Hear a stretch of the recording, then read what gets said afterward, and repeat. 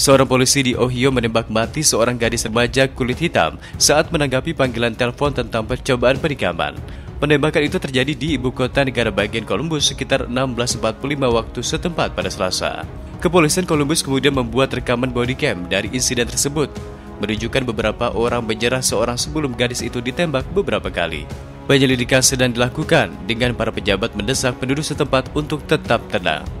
Penembakan di Columbus terjadi tak lama sebelum juri memutuskan seorang mantan petugas polisi bersalah atas pembunuhan George Floyd, keturunan Afrika Amerika, di Jalan Minneapolis tahun lalu.